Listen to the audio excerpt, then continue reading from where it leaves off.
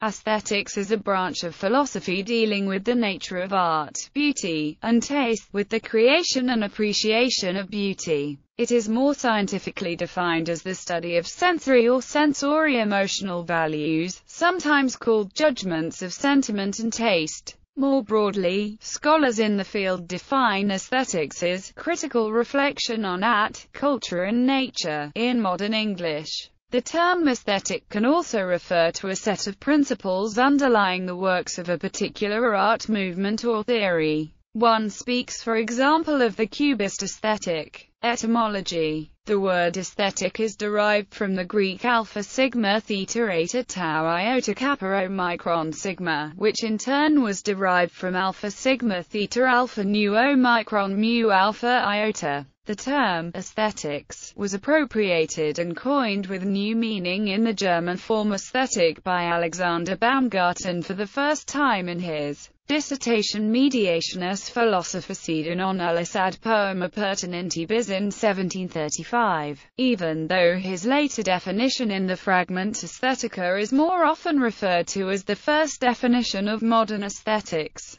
Aesthetics and the philosophy of art Aesthetics is for the artist as ornithology is for the birds. Barnett Newman For some, aesthetics is considered a synonym for the philosophy of art since Hegel, while others insist that there is a significant distinction between these closely related fields. In practice, aesthetic judgment refers to the sensory contemplation or appreciation of an object, while artistic judgment refers to the recognition, appreciation or criticism of art or an artwork. Philosophical aesthetics has not only to speak about art and to produce judgments about artworks, but has also to give a definition of what art is. Art is an autonomous entity for philosophy, because art deals with the senses and art is as such free of any moral or political purpose.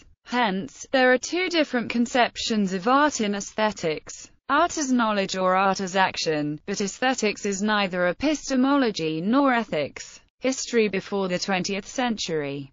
See also Beauty Any aesthetic doctrines that guided the production and interpretation of prehistoric art are mostly unknown. An indirect concern with aesthetics can be inferred from ancient art in many early civilizations, including Egypt, Mesopotamia, Persia, Greece, China, the Etruscans, Rome, India, the Celtic peoples, and the Maya, as each of them developed a unique and characteristic style in its art. Western aesthetics usually refers to Greek philosophers as the earliest source of formal aesthetic considerations. Plato believed in beauty as a form in which beautiful objects partake and which causes them to be beautiful. He felt that beautiful objects incorporated proportion, harmony, and unity among their parts.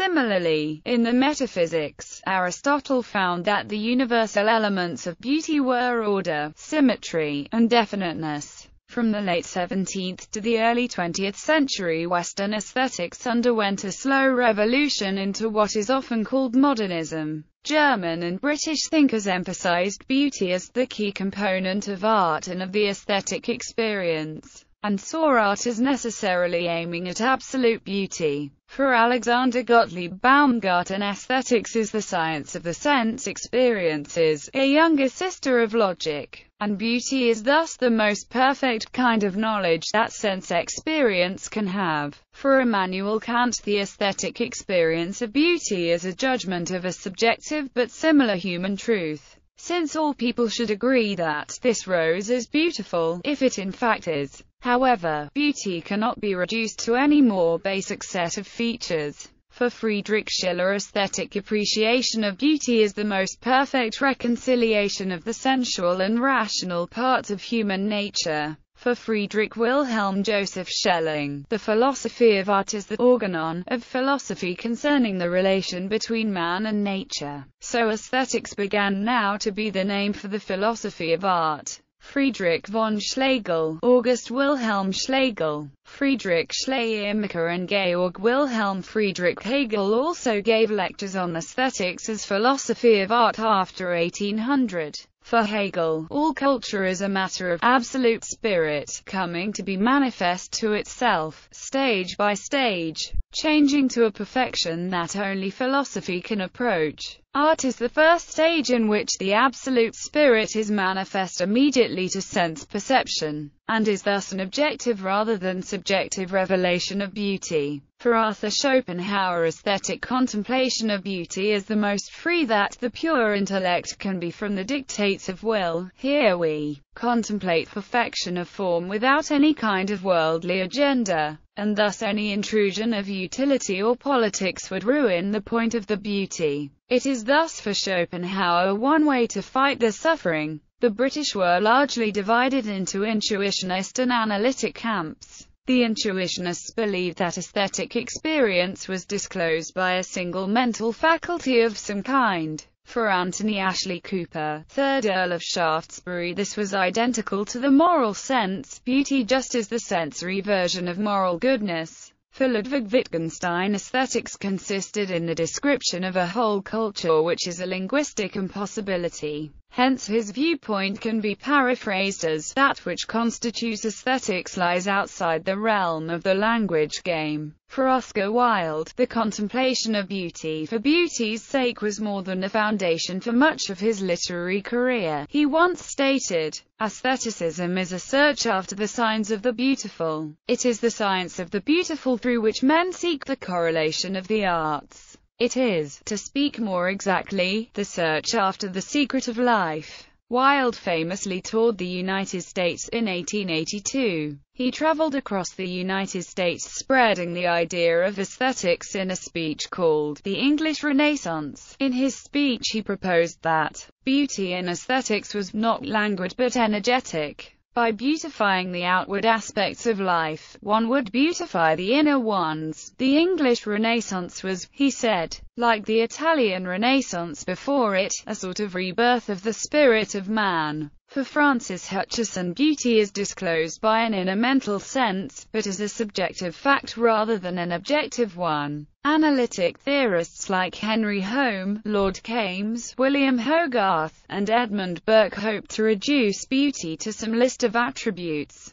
Hogarth, for example, thinks that beauty consists of fitness of the parts to some design, variety in as many ways as possible, uniformity, regularity or symmetry, which is only beautiful when it helps to preserve the character of fitness, simplicity or distinctness which gives pleasure not in itself but through its enabling the eye to enjoy variety with ease, intricacy, which provides employment for our active energies, leading the eye on a wanton kind of chase, and quantity or magnitude, which draws our attention and produces admiration and awe. Later analytic aestheticians strove to link beauty to some scientific theory of psychology or biology. New criticism and the intentional fallacy during the first half of the 20th century, a significant shift to general aesthetic theory took place which attempted to apply aesthetic theory between various forms of art,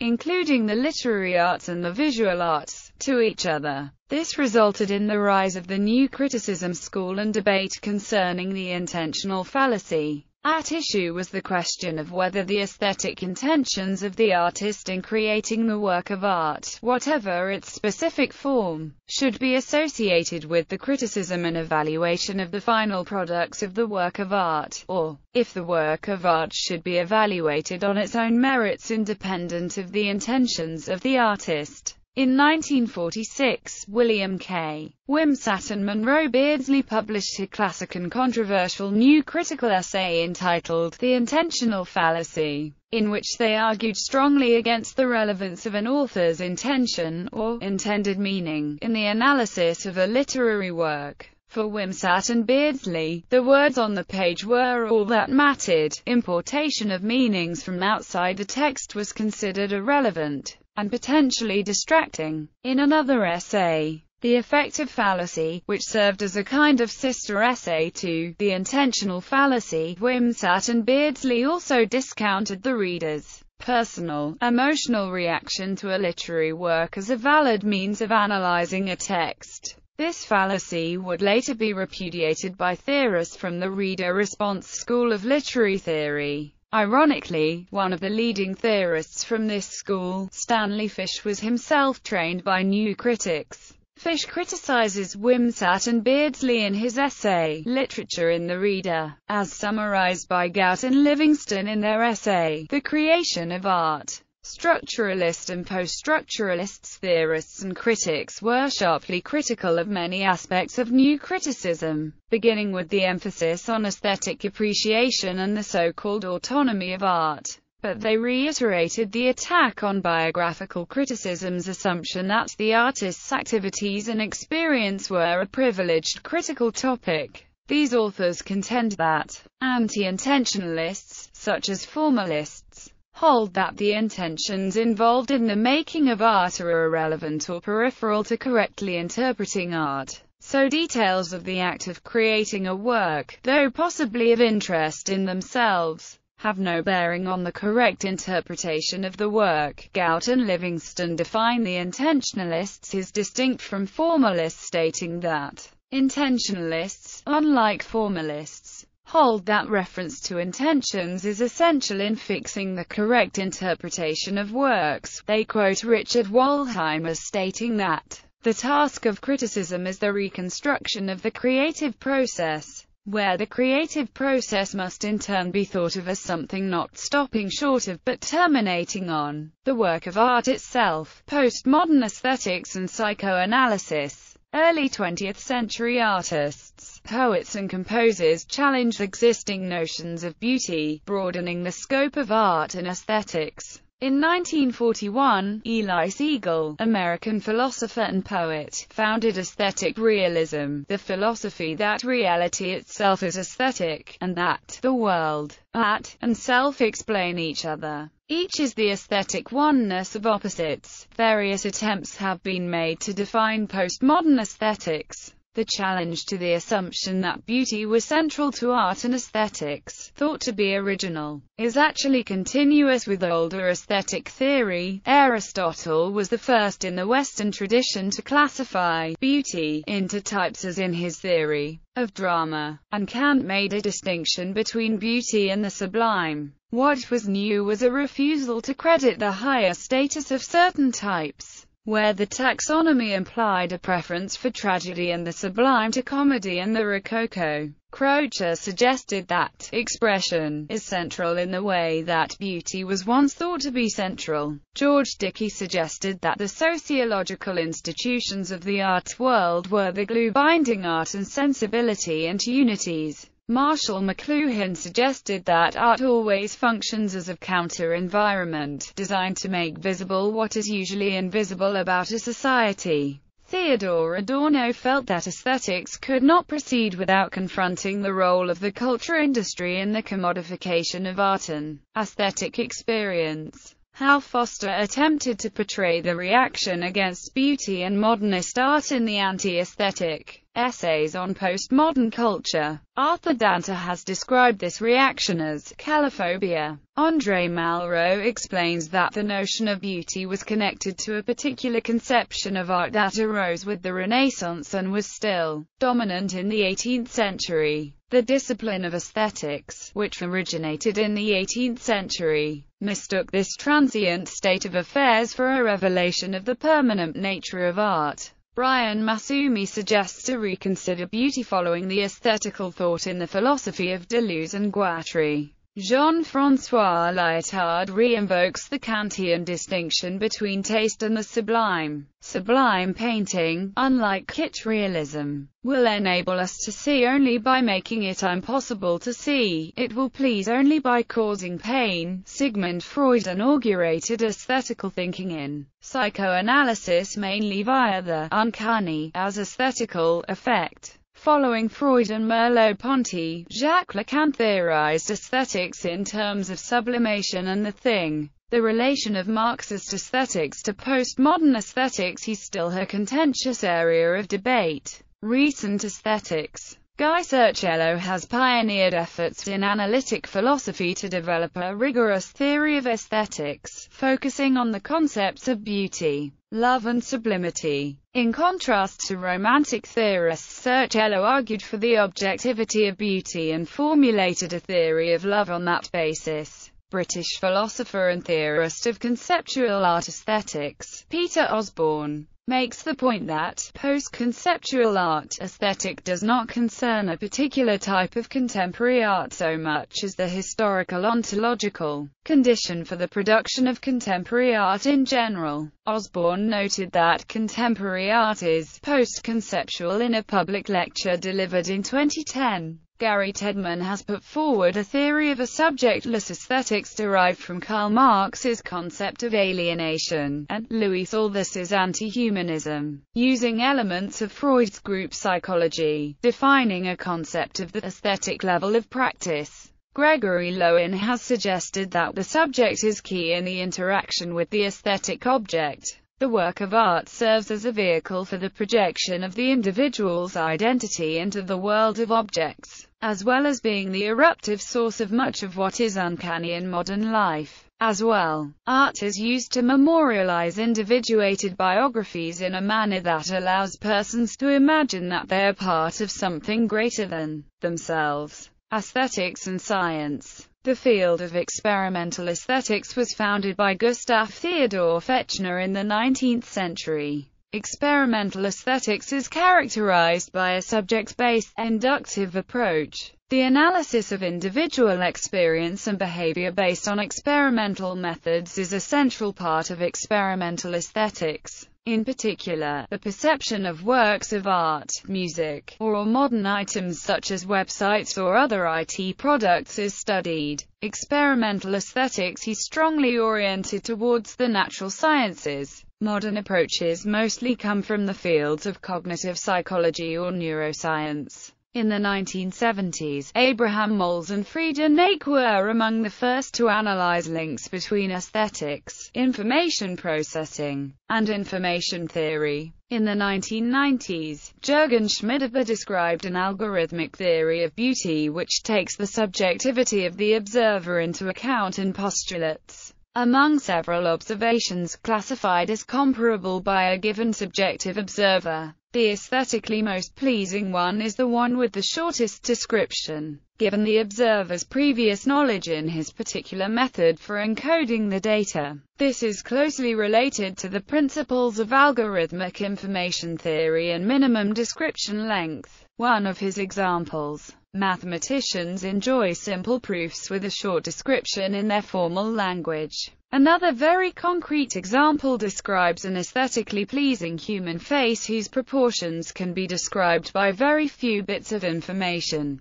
drawing inspiration from less detailed 15th-century proportion studies by Leonardo da Vinci and Albrecht Dürer. Schmidhuber's theory explicitly distinguishes between what's beautiful and what's interesting, stating that interestingness corresponds to the first derivative of subjectively perceived beauty. Here the premise is that any observer continually tries to improve the predictability and compressibility of the observations by discovering regularities such as repetitions and symmetries and fractal self-similarity. Whenever the observer's learning process leads to improved data compression such that the observation sequence can be described by fewer bits than before, the temporary interestingness of the data corresponds to the number of saved bits. This compression progress is proportional to the observer's internal reward, also called curiosity reward. A reinforcement learning algorithm is used to maximize future expected reward by learning to execute action sequences that cause additional, interesting input data with yet unknown but learnable predictability or regularity.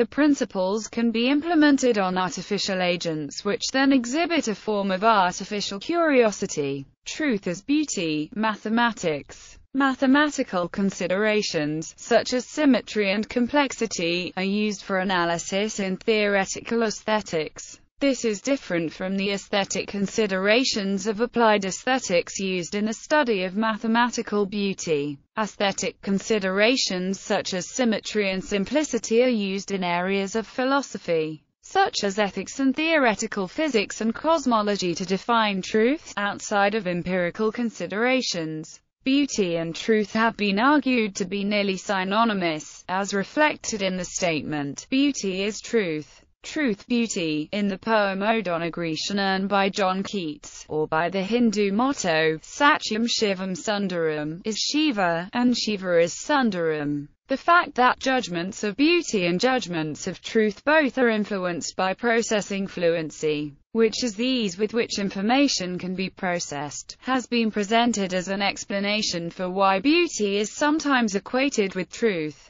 Indeed, recent research found that people use beauty as an indication for truth in mathematical pattern tasks. However, scientists including the mathematician David Orrell and physicist Marcelo Gleiser have argued that the emphasis on aesthetic criteria such as symmetry is equally capable of leading scientists astray. Computational inference of aesthetics since about 2005, computer scientists have attempted to develop automated methods to infer aesthetic quality of images. Typically, these approaches follow a machine learning approach, where large numbers of manually rated photographs are used to teach a computer about what visual properties are of relevance to aesthetic quality. The ACQUINE engine, developed at Penn State University, rates natural photographs uploaded by users. Notable in this area is Michael Leyton, professor of psychology at Rutgers University. Leyton is the president of the International Society for Mathematical and Computational Aesthetics and the International Society for Group Theory in Cognitive Science and has developed a generative theory of shape.